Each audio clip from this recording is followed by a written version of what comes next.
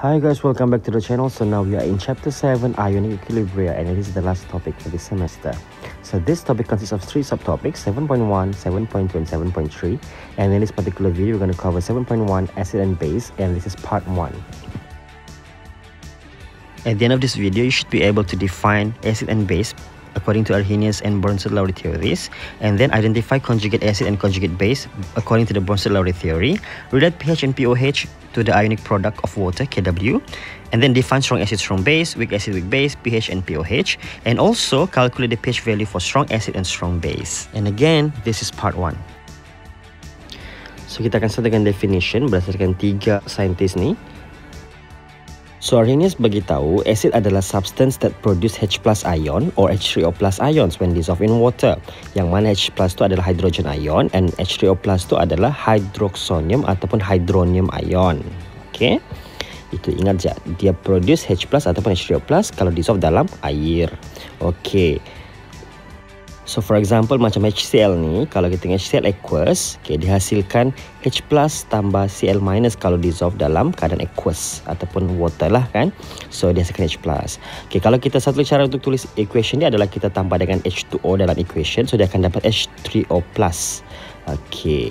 Alright, kalau base pula dia adalah substance yang produce OH minus okay, bila dissolve dalam air ataupun aqueous. So OH minus tu adalah hydroxide ion. Okey, contoh base adalah NaOH aqueous menghasilkan Na plus dan OH minus. Bila dalam aqueous lah dia terpecah jadi OH minus hydroxide ion. So kalau kita dibagi satu equation NH3 plus HCl menghasilkan NH4 plus plus Cl minus, kita tidak boleh guna Arrhenius saja untuk explain. Tidak enough. Ha? Jadi apa kita buat? Kita ada definition lain daripada saintis lain. Contohnya macam Bronsted-Lowry. Bronsted-Lowry cakap acid adalah substance that donate proton. Proton itu adalah H+, ya guys. Okay, sementara base pula adalah substance yang accept proton, H+. Okay, so kalau kita tengok equation ni tadi, NH3, HCl hasilkan NH4 dan Cl NH3 itu menghasilkan NH4 seolah-olah dia sudah terima satu H sementara HCl pula dia seolah-olah sudah kehilangan H plus ion untuk menjadi Cl minus. Ha, jadi menurut Bronsted Lowry ni siapa yang donate H plus tu dia adalah acid. Siapa yang terima H plus adalah base. Jadi NH3 dia sudah terima H plus maka dia adalah base. Sementara HCl pula dia sudah donate H plus dia maka dia adalah acid. Okay, next berdasarkan Lewis pula, acid adalah substance yang accept electron pair untuk hasilkan dative bond. Kalau base, dia donate electron pair untuk hasilkan dative bond. Jadi kalau kita ingat lagi sekali dulu ada kita belajar pasal dative covalent bond tu kan. Di sini ada BF3 dengan NH3 menghasilkan BF3NH3 okay, yang mana dia punya arah tu ke arah B sana. Dia punya dative bond. Maka B adalah penerima electron pair di sini. Maka dia adalah acid. Jadi base dia adalah NH3. So dia adalah electron pair donor. Uh, BF3 adalah electron pair acceptor. By the way, Lewis acid can be cation and ion ataupun neutral compound. Sementara Lewis base pula can be anion ataupun neutral compound. Kalau kita cek lebih dalam dengan Bronsted-Lowry theory itu dia cakap a pair of compound ataupun ion yang berbeza satu proton saja dikenali sebagai conjugate acid base pair pasangan conjugate acid base. Jadi kalau kita tengok macam NH3 dengan NH4 plus ni, okay, NH3 tu dia kurang satu H plus berbanding NH4 plus. Jadi NH3 tu adalah base, conjugate acid dia adalah NH4 plus. Kalau HCl dengan Cl minus pula, HCl tu acid, Cl minus tu adalah conjugate base dia. Tu pasangan mereka lah.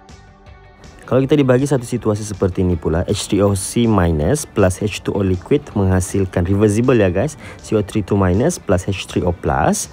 Okey, kita tengok pasangan dia HCO3 minus dengan CO3 2 minus di sana. HCO3 tu dia extra H berbanding CO3 2 minus. Maka dia adalah acid dan conjugate base dia adalah CO3 2 minus. Okey, antara H2O dengan H3O plus pula, H2O plus ada extra H di sana berbanding H2O. Jadi H2O tu base-nya. Jadi H3O plus adalah conjugate acid-nya kasih pasang-pasang ini adalah conjugate acid base pair ataupun conjugate base acid pair. Alright. Let me just emphasize again, hubungan antara base dengan conjugate acid adalah ada beza extra H+. Okay, base dengan conjugate acid, conjugate acid ada extra H+. Kalau acid dengan conjugate base, conjugate base itu ada less H+, berbanding acidnya. Okay, let's have a look at more examples here. So yang pertama dia ada H2PO4 minus plus H2O menghasilkan H3O plus dengan H3, HPO42 minus. So kita pasangkan mereka dulu. Jadi kalau kita tengok H2PO4 minus dengan HPO42 minus, HPO42 minus ada less H plus berbanding H2PO4 minus. Jadi yang sebelah kiri itu adalah acid, yang sebelah kanan itu adalah pasangan conjugate base-nya. Dan dalam case ini H2O adalah base dan H3O plus ada H plus kan di sana. Jadi dia adalah conjugate acid pair-nya. Alright. So yang kedua ni pula NH4 plus dengan NH3 pasangan dia. H2O dengan H3O plus lah. NH4 plus ada extra H berbanding NH3. NH3 itu less H. Jadi NH4 plus adalah acid. NH3 adalah conjugate base. Dan macam biasa H2O di sini adalah base. H3O plus adalah conjugate acidnya. Okey, untuk yang ketiga ni pula NH3 H2O NH4 plus OH. Jadi kalau kita pasangkan mereka NH3 dengan NH4 plus tu NH4 plus ada extra H plus maka NH3 adalah base dan NH4 plus adalah conjugate acidnya. Ingatlah yang conjugate ni semua dekat bahagian produk ya. Jadi H2O dengan OH minus pula adalah H2O adalah acid dalam case ini, OH minus adalah conjugate base-nya. Okey, yang last sekali kalau kita pasangkan dia orang PO4 3 minus dengan HPO4 2 minus, HPO4 2 minus ada extra H plus maka dia adalah acid ataupun kalau kita tengok dia adalah conjugate acid. Jadi PO4 3 minus adalah base-nya. Jadi H2O dengan OH pula, H2O tu acid, OH adalah conjugate base-nya. So ada few things yang kita boleh take note di sini. Yang pertama adalah H2O tu dia boleh jadi acid ataupun base, depend on situation. And then the stronger the acid, the weaker its conjugate base. Dan sebaliknya, the stronger the base, the weaker its conjugate acid. Okay, now let's have a look at strong acid versus strong base. Okay, strong acid adalah acid that dissociate completely in water and produce high concentration of H plus ions. Jadi dia punya degree of dissociation adalah equal to 1 ataupun percentage dissociation dia adalah 100%. Okay. Kalau strong base pula, dia adalah base yang dissociate completely in water juga and produce high concentration of OH minus. Itu je beza dia. Beza dia adalah satu base, satu lagi acid, H plus or H minus ion. Dia punya degree of dissociation sama-sama satu dan dia punya percentage dissociation pun sama-sama 100%. So, kita tengok contoh untuk strong acid dengan strong base. Okay, contohnya adalah HCl okay, hasilkan H plus dan Cl minus. Uh, first thing, kena perasan dia punya anak panah one way ya. Okay, sama je strong base, NaOH menghasilkan Na plus dan OH minus. Anak panah dia pun one way. Menunjukkan dia 100% dissociate. Completely dissociate. Okay, dalam case strong acid dan strong base ni, kalau saya bagi concentration of HCl tu 0.1, maka concentration of H plus pun 0.1 juga dia punya ni, concentration.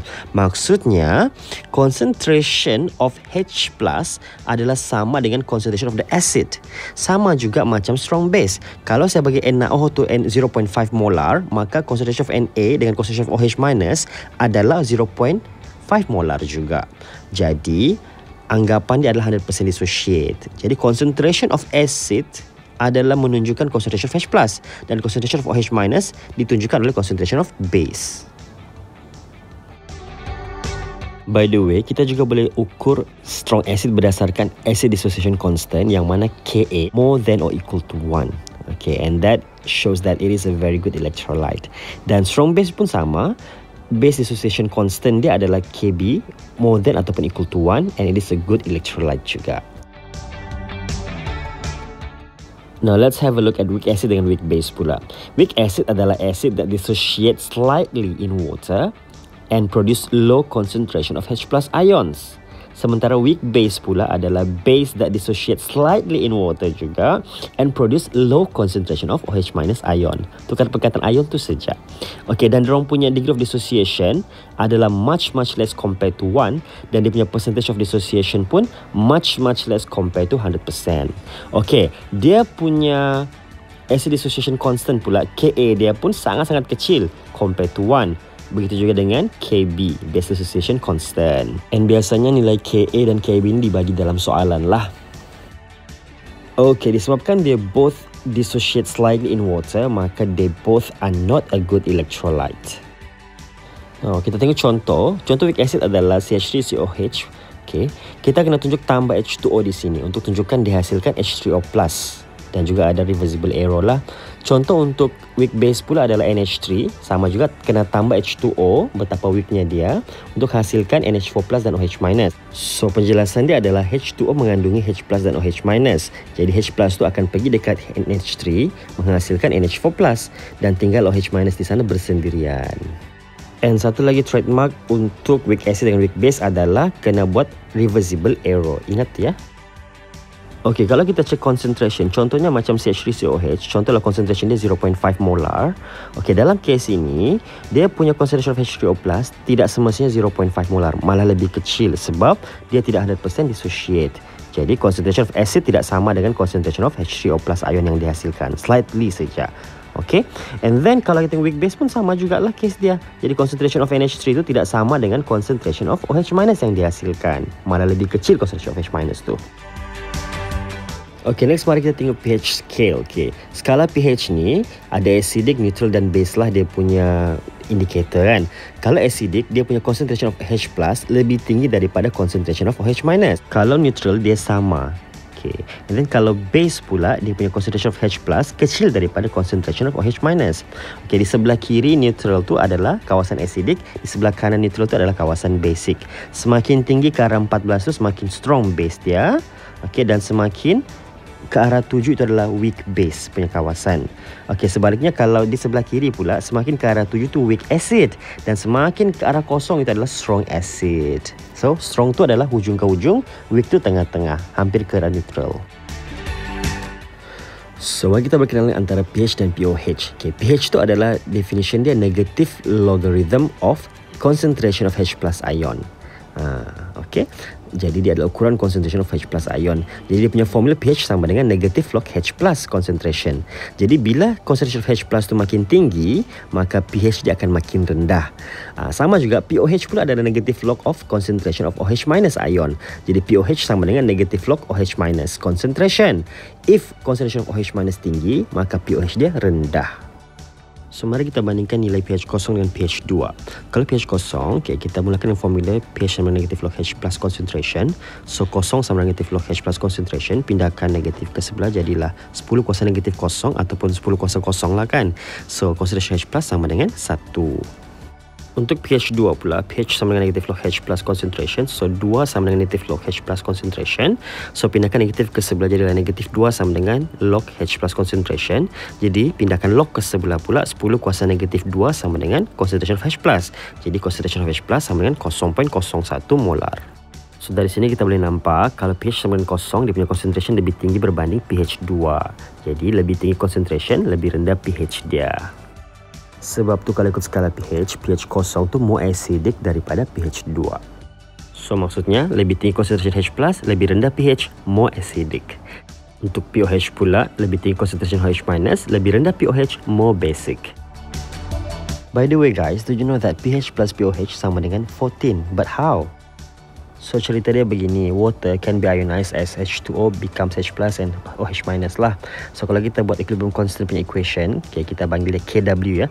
So it's gonna be concentration of H plus times with concentration of OH minus product. Tapi reactant kan liquid jadi tidak terlibat lah dalam equation ni. So kita panggil expression ni sebagai ionic product of water. So at 25 degree Celsius, KW sama dengan 1.0 exponent negative 14. Jadi kalau kita ganti balik, so concentration of H plus darab concentration of OH minus sama dengan 10 to the power of negative 14. Ha, jadi bila kita kasih log both sides, kita akan dapat sama dengan negative log darab dengan concentration H plus darab dengan concentration OH minus dalam kurungan ha, sama dengan negative log 10 to the power of negative 14. So bila kita expandkan expression sebelah kiri tu kita akan dapat negative log concentration H plus tambah negative log concentration OH minus sama dengan 14. Okay. And then negative log H plus kan sama dengan pH and then negative log OH minus sama dengan POH sama dengan 14. Jadi dapatlah formula pH plus POH sama dengan 14. Okay, dia jadi tambah sebab negative log darab dengan dua expression dalam tu darab kan. Jadi kalau darab kita kasih tambah dia punya log. Now, mari kita belajar to calculate pH for strong acid and strong base. Okay, first kali kita kena balance equation untuk complete dissociation lah. Uh, nak pandang dia mesti one side macam ni lah, one way. Ya. So, kalau acid, kita just perlu ambil concentration of acid tu sebagai concentration of H+.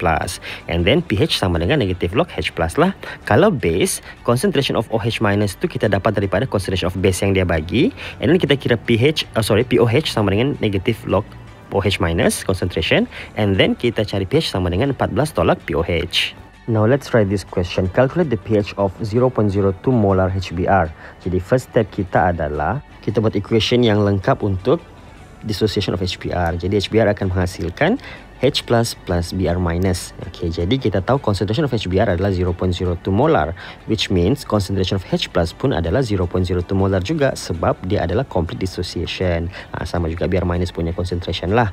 Jadi untuk kira pH sama dengan negative log concentration H. Jadi kita ganti masuk pH sama dengan negative log 0.02 and you should get 1.70. Alright, for next question, determine the pH of 0.03 mol per dm cube NaOH. So this is strong base by the way. So first step of course, balance equation dulu. NaOH aqueous produce Na plus plus OH minus aqueous. Jadi kita punya uh, concentration of NaOH adalah 0.03 mol per dm cube, which means concentration of Na plus ion dengan OH minus ion pun sama lah 0.03 mol per dm cube. Jadi kita kena kira POH dulu sebab dia base kan. Jadi POH sama dengan negative log concentration of OH minus which is 0.03 mol per dm cube. And then kita tekan calculator you should get 1.52 so pH sama dengan 14 minus POH so 14 minus 1.52 you should get 12.48 Okay, next, calculate the pH of 0.0011 molar solution of calcium hydroxide. So, first step kita adalah balancekan equation dulu. So, 2OH minus di sana guys ya. Jadi, kalau kita tulis balik dia punya concentration, concentration of OH di sana kita kena darab 2. So, 2 times 0.0011 molar sebab ada 2 mol di sana. Okay, jadi dapatlah 0.0022 molar. Okay, next step kita adalah POH, negative log concentration of OH minus. So negative log 0.0022 molar. And then kita akan dapat POH sama dengan 2.66. Jadi pH sama dengan 14 minus 2.66. You should get 11.34. Alright, next question. Calculate the concentration of H plus ion and determine the pH in a solution which concentration of OH minus is 2.5 exponent negative 3 molar. So cara pertama adalah kita buat negatif cari POH dulu and then kita cari pH baru kita dapat concentration of H+. Atau cara yang kedua adalah menggunakan formula KW equals to 1.0 exponent negative 14. Kita ganti concentration H+ darab concentration OH- sama dengan 10 to power negative 14 and then kita ganti masuk value concentration of OH tadi dapatlah concentration of H and then daripada sana dapatlah pH 11.4 sama aja. Now test yourself with these questions. And if you enjoyed the video, don't forget to like, comment and share to your friend. Wait for part 2. Thank you.